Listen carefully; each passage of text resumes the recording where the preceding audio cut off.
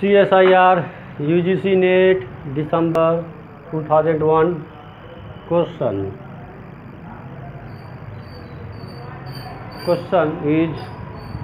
the rest constant of a unimolecular reaction.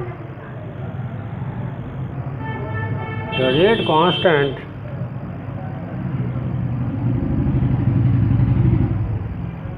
of a unimolecular reaction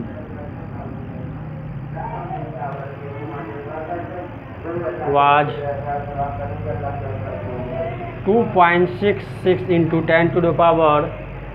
minus 3 per second and 2.2 into 10 to the minus 1 per second these are rate constant that means k1 and k2 value are given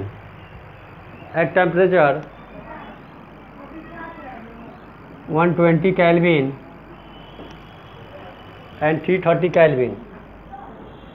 and 330 kelvin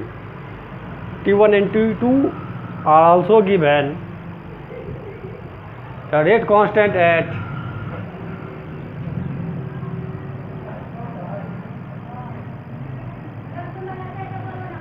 240 kelvin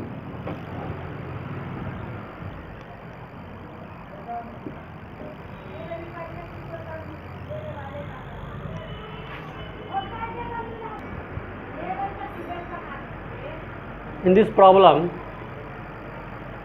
first of all k1 and k2 are rate constant. K1 and K2 are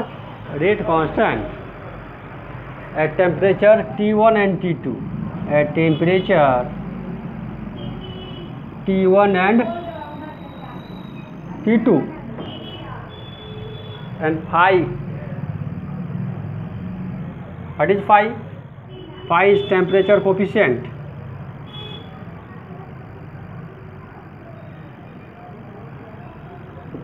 Okay एक formula है जो कि जिस formula से ये problem का solution होगा formula का है वो है के टू बराबर K one five K delta T by ten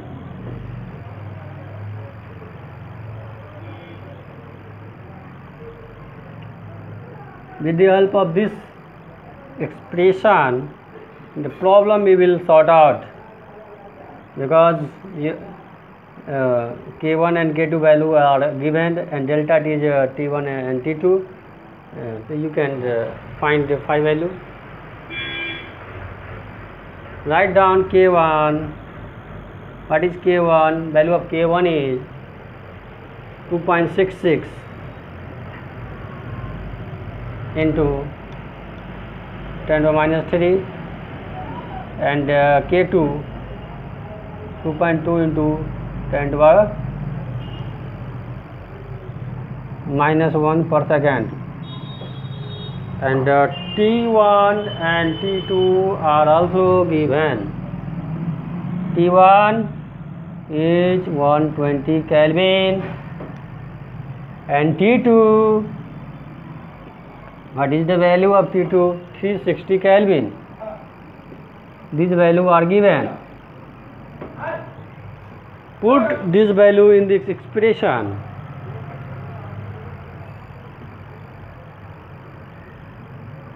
uh, in this expression put K2 by K1 that means 2.2 into 10 to the minus 1 by 2.66 into 10 to, the power minus 3 is equal to phi temperature difference and divided by 10 it will equal to 24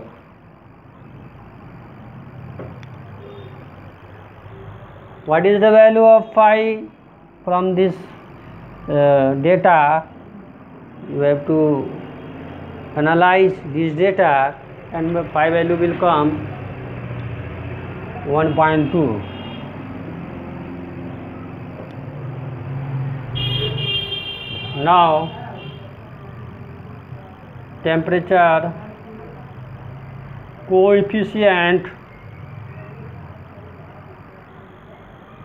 at 240 Kelvin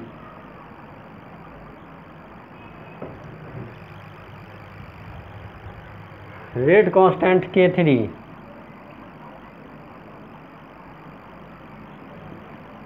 What will the value of rate constant K3? K3 is equal to 2.66 K2 into 10 to the minus 3 multiplied by one point two five twelve solve this data you will obtain 2.4 into 10 to the power minus 2 per second